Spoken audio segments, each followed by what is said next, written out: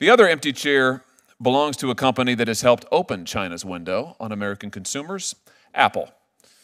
We're accustomed in hearings like this one to hearing about Apple as a good corporate citizen. It encrypts its messages, it limits its own data collection from users, and gives them privacy controls. But Apple's business model and business practices are increasingly entangled with China, a fact that they would rather we not think too much about. China is essential to Apple's bottom line, both on the supply and the demand sides of their business. Apple's investments in Chinese production have helped build the scientific and manufacturing capacity of America's greatest geopolitical rival. But Chinese demand is even more critical to Apple's future. And to service that demand, Apple is risking compromise with authoritarianism.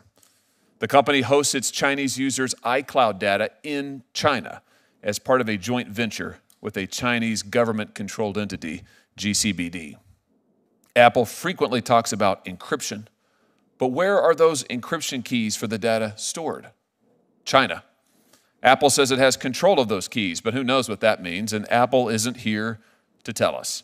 If you've got family in China or business contacts there, you cannot count on iMessage encryption to keep your interactions secure from Chinese authorities. And if you're a Uyghur or a Chinese dissident or a protester in Hong Kong, Apple's corporate values won't do much to protect you. In the midst of the Hong Kong democracy protests, now in their 22nd week, Apple pulled an app from its store that helped protesters and citizens stay safe during violent police crackdowns. Why? Because Beijing pushed for it. Just a few days later, Tim Cook was appointed to chair the board of Tsinghua University's business school. If you're an American user of an iOS, you can't be confident that the Chinese government isn't reverse engineering the platform through their privileged access to it via their joint venture with Apple. With Apple and TikTok, we see two sides of the same coin when it comes to data security the danger of Chinese tech platforms' entry into the US market, and the danger of American tech companies' operations in China.